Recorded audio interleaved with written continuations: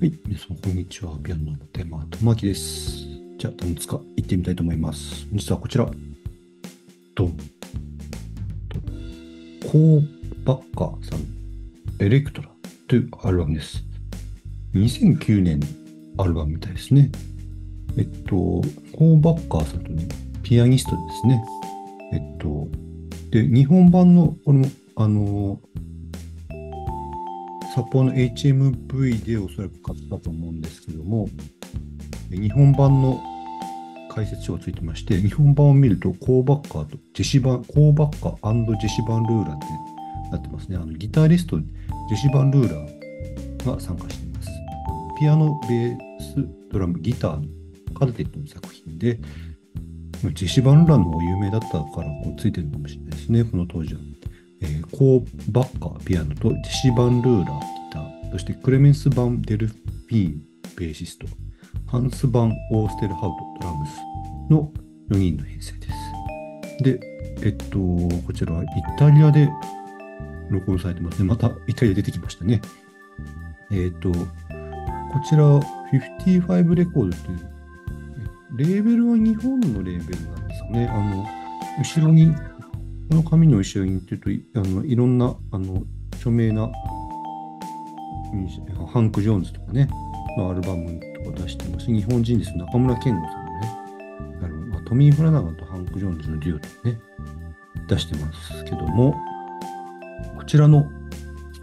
えーとレーベルから、えー出たアルバムということで、でえー見ていきますですね、すべて、えーと一曲全部で12曲なんですけども、すべて、え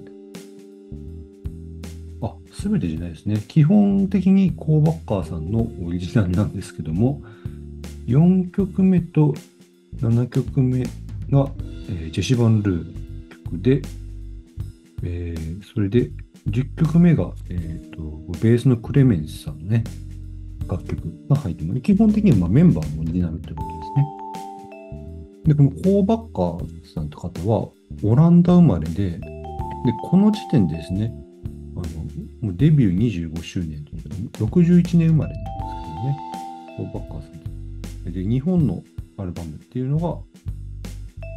のエレクトラが初めてだということでしたね。で、えっ、と、11歳からピアノ始めて、でいろいろ、あの、音楽院とか行ってるんですけども、ロスに行ってクレア・フィッシャーズにね、作曲とか編曲を学んだということで、私、うんよく演奏している、えっと、ペンサディパですね、ペンサディパという素晴らしい、えーえー鍵盤奏者であり、作曲のクレア・フィッシャーズに習ってたってことでね、ちょっとびっくりでした。はい。で、このアルバム、なんかすごいたくさんなんか詳しく書いてあって、このコーバッカーさん、この作品の前に、1、2、3、4、5、6、7、8枚出してるんですね、アルバム。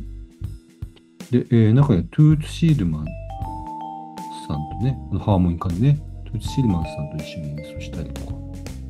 あと、そうですね、えっと、ジョビンのナンバーとかをね、やったりとか、ストリングスで映画音楽のタイタニックとかのね、曲を演奏してるアルバムとか、様々なアルバムがあるみたいですね。で、えっと、61年生まれで、で、どちらかというと、なんか、テレビの音楽番組とかの方にね、で、結構出てた方みたいです。で、なかなか、まあ、まあ、だから、その、意外とこう、なんとかこう、ジョビン特集みたいな感じでね、アルバムが多いのかなと思いますけども、その、なんですかね、王道じゃないけど、こう本当のコーパッカーのバンドの作品っていうのはなかなかな、あ、こうジャズピアニストとしてっていう作品がなかなかなかったみたいで、これが、まあ、初めてという感じですかね。で、ジェシ・バン・ルーラーが参加してまして、とベースのクレメンスさんとドラムハンスさんは、こちらも、えっと、こちらの方もオランダのね、ミュージシャンみたいですけども、なかなかファーストコールのね、素晴らしいベーストとドラムと、これ、と言います。コーバカーさんは、ここに書いてある61年前と、小曽根誠さん、日本の小曽根誠さんと、ウィントン・マルサイスさんとね、同い年のミュージシャンの方みたいですね。で、曲を結構、あの、綺麗な、全体的に綺麗な曲が多いのと、あとギター、ね、ジェシ・バルーラも参加してますね。でギターと一緒にこのアンサンブル、ハーモニーとかね、